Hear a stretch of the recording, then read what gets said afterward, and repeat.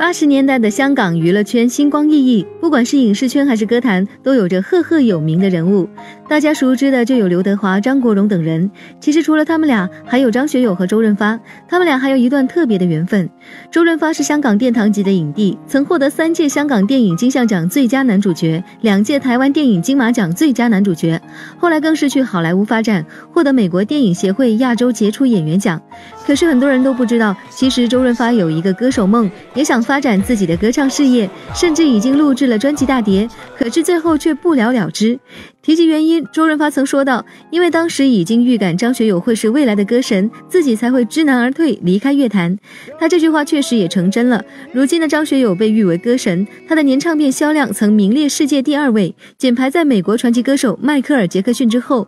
不过，张学友在电影方面的成就同样不容忽视。